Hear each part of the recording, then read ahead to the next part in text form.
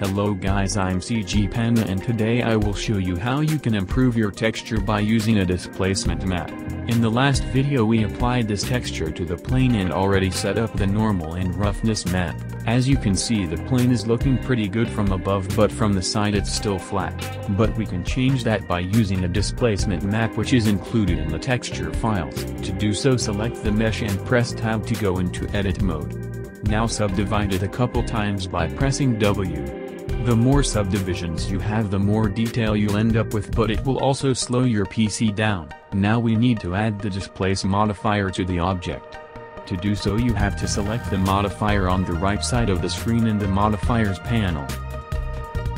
Now we need to create a new texture for the displacement map. Under the displace modifier hit the button new and go to your created texture. Here you have to insert your displacement map.